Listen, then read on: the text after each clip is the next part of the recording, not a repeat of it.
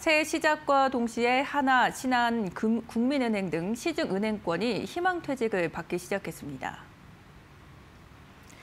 올해 첫 희망퇴직 신청인 하나은행은 만 15년 이상 근무하고 만 40세 이상인 일반 직원을 대상으로 오는 7일까지 특별퇴직 신청을 받는다고 내부 공고했습니다.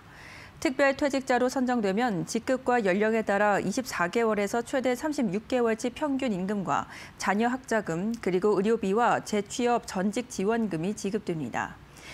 은행권에서는 연 2회 이상의 희망퇴직이 실시되는 분위기가 퍼지고 있는 가운데 퇴직 연령은 더 낮아지고 퇴직금 규모도 커질 전망입니다.